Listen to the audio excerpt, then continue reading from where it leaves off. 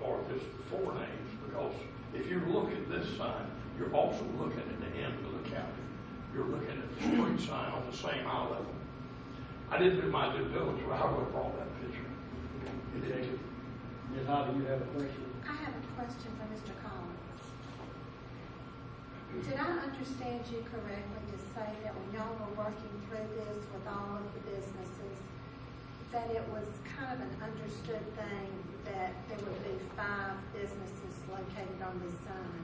Well, The number of, what you understood me to say is um, that, that the, that the, that the Mobil station has always been involved in this particular entrance. In other words, if you could go back, let me just show you, let me just explain something guys.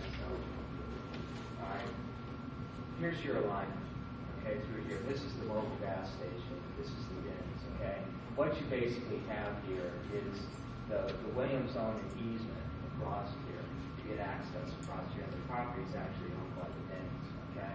What we have is we have a cross, um, we have a, an agreement where anybody from Mobil can cross through here, that, you know, Denny's people can come over to here, that the two hotels in the back can also, um, can use this. So all of the parties here, anybody going here or there, or to the new, uh, to the other restaurant, uh, the Hurricane Grill it comes in, or the two hotels in the back, are, are, will use this entrance. So what this sign does is a marquee sign that's over here. Um, it would allow folks to see that they can get to any of those businesses through here. However, what the Williamses are talking about is, in addition to that, should they pass the intersection, just so you know, headed west into town, should, uh, I'm sorry, east into town, should they pass the intersection, there is a driveway that's being put in. These are the pumps right here for the gas station. There's a driveway that's being put in here, and if you, if you don't turn in here, you can access it off St. Augustine. You can go directly into the Mobil station, okay? So, so, um, I don't know if that helps you at all. I mean, you're coming along, all right? Um, I guess what they're saying that is if the sign doesn't include them, you know, you just pass the entrance and then you can, you can turn right into Mobil, okay? But it does But- show that But you it can. does show that you can get access from, if you turn in here into the Mobil station. So, um, and, and of course, from the very beginning, let me just tell you something else, background, just so you know it. Originally, you know, the intersection was over here at Wen, um, next to the Wendy's. And what was gonna happen is DOT was forcing us, I just don't know what the history was on this. DOT was forcing us to close off the entrance to the drive-up window on Wendy's. And we were, we were really going to adversely impact and probably have to pay Wendy's damages for that. Um, the other thing is, from a safety standpoint, a 90-degree intersection has better sight visibility for folks. And so you always want to try to have a 90 degree into the roadway if you can, or as close to 90 as you can. So what happened was, we talked about um, bringing this up to a 90 degree intersection, and it would line up nicely with the entrance over here, going into the Denny's and back into the hotels. That seemed to be the silver bullet, because it was, it was taking away the problem with Wendy's. Uh, the Mobil station was okay with it. Um, uh, Otherwise, what was gonna happen, by the way, when the intersection was over here, they were actually gonna go, you'd go into the Mobil station on the east side of the building, rather than the west side.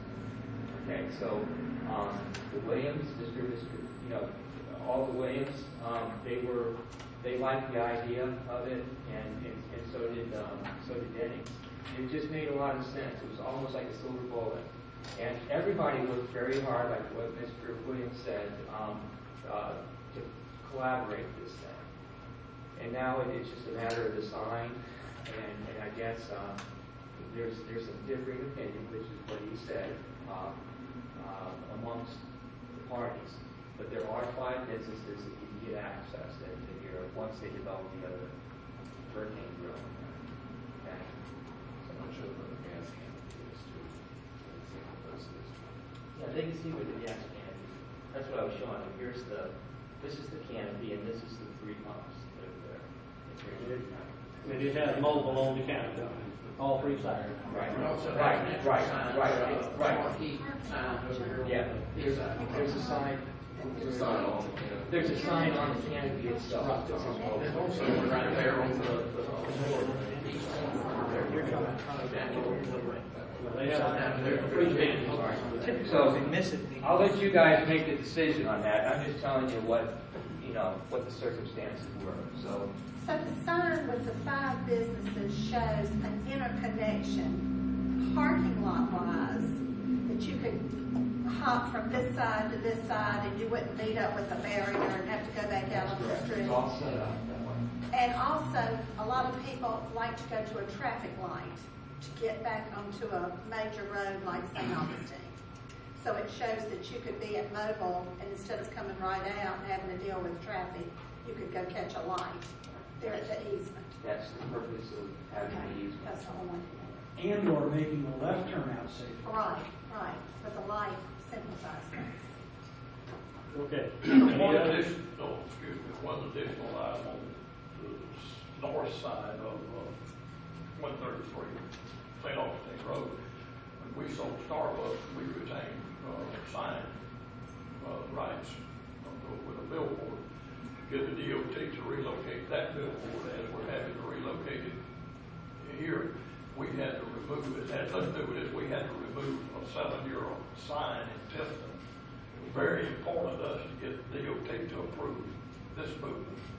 So, again, we didn't ask for compensation, we asked, and, and like I say, uh, the engineering department and zoning department has been very knowledgeable and very, they put much due diligence into this, but we go back to everybody served, and whatever you approve, for Williams to sign off, then, that this doesn't have anything to do with this board, we will have to have half the sign of the ID sign, because we've got to have an investment there that we're going to protect to the best of our ability.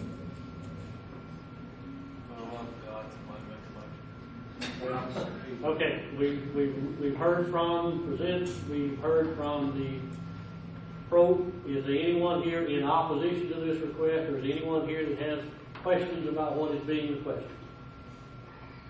Was there any contact with your office, Mr. Martin, concerning any of this that we need to be aware of? No, sir, no contact was made. Any other questions, any other discussions from the board at this time? Can I entertain a request on, I mean, a motion on this request? I have one. I if anybody's gonna second it, but I think that, uh, I, I move to approve sign option B, with about twenty-eight square feet of copy, copy area, um, with a condition that the applicant delete all four directional signs currently in place in the subject property along St. Augustine Road. I think that's fair. When they get their extra sign area and they take some away. Signing criteria? Signing criteria, well, do we decide all criteria now? All right, you have the variance review criteria in your packet. You can make reference to all of them collectively. They're all Okay. in favor of the variance. Yeah.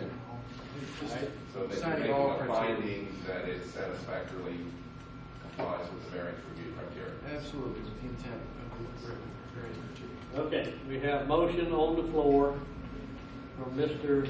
Dave Kirk to grant the request as presented for sign B. With the stipulation that the additional directional signs on the western entrance be deleted because the the ones on the eastern are already going to be deleted with this sign, correct? Correct. Question for the board for clarification. Um, is this for a specific sign design like we see here? Or is it for a directional sign with these configurations? In other words, twenty-eight square feet, not to exceed six feet in height? Uh, that's it. No bait switch. That's it. This That's is it. not the, this is not the That's the sign. one we're talking about. We're talking about B, not C. That, that I, let me. Oh, well, we're, we're in, we're in the middle of a motion, Mr. Williams, hold on. Okay, we have motion on the floor. Do I have a second? I- I'll second that, I'm pretty good with that. I'll- I, like I said, I like to come down the road, see the sign where I'm supposed to go in and go in there. Okay, I have motion on the floor from Mr. Kirk, we have second from Ms. Corlin. All in favor, please raise a hand and hold so I can count. One, two, three. All opposed? One, two, three. We have a tie. I get to earn my pay this week. All right. Before you do that, make sure I get the right three with the right three. Those in Okay. favor were Ms. Gretchen and David and Burke. Dave and Dr. Howell were in favor. Hobby and Orenstein and Alvarado were in opposition. And I'm going to vote, a cast, a cast a vote against it and see if we can get another motion. Alright, so at that point, we're back to square one. Can we entertain a motion on this item? I'll make a motion. Uh, Go ahead and make a motion. I'll make a motion to approve the request. And that's the sign. C. C. I second it. Right, we have a motion from Ms. Hobby to grant sign C, which is that sign that's on the board right there with the five panels. You want to do it as presented? Mm-hmm. Okay, I have motion on the floor from Ms. Hobby to grant that sign that is shown right there with the five panels. Do I have a second? I second. I have a second from Mr. Alvarado.